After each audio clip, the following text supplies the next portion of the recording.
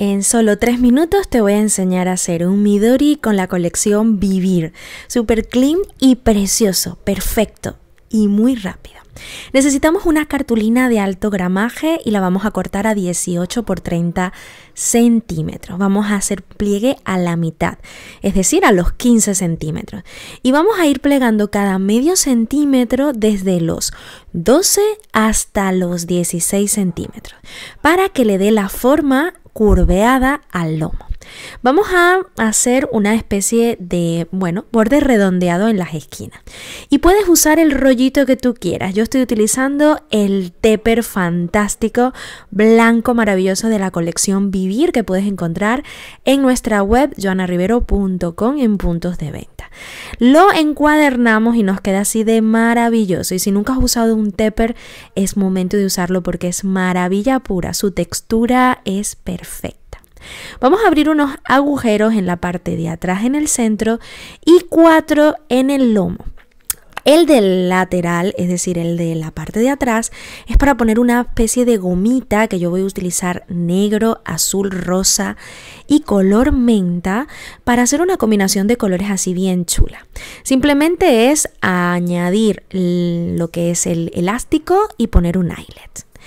En la parte del lomo simplemente vamos a poner cuatro eyelets, uno abajo del otro arriba y uno abajo del otro abajo. Y ahora bien, aquí viene la decoración. Siempre tenemos ese problema de si no tenemos la herramienta Big Buy, no podemos hacer agujeros hacia adentro más de lo que nos permite la cropada. Y entonces yo te traigo un tips. Vamos a medir mm, más o menos a 2 centímetros aproximadamente para que nos queden así cuatro líneas preciosas que vamos a poner unos cordones elásticos. Y mira si lo haces con la punta de un lápiz primero con un punzón y luego con la punta de un lápiz o con una herramienta redondeadita puedes abrir el agujero sin problema sin necesidad de una big bite.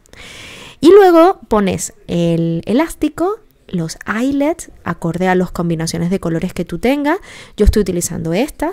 Y si no tienes la Big Bite con un martillo, así como escuchas, le das unos golpecitos, protege la base porque se puede romper la mesa, coloca una, una, plaquita de metal o algo que tengas por allí que no se rompa y le das martillazos y así también te desahogas un poquito. Muy bien, y ahora vamos a forrar el interior, simplemente estoy añadiendo los agujeritos también a este papel precioso negro para la parte de dentro.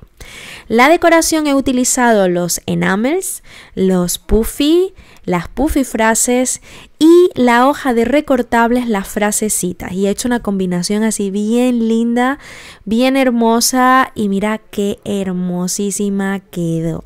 Muy rápido, fácil, súper bonito y además sencillo. Ya puedes terminar pues poniéndole enamels, puffy puntitos o lo que tú quieras y te apetezca.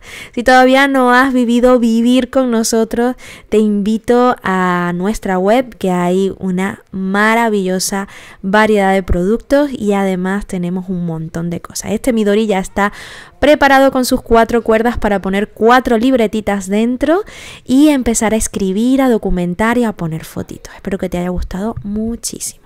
Un besito muy grande.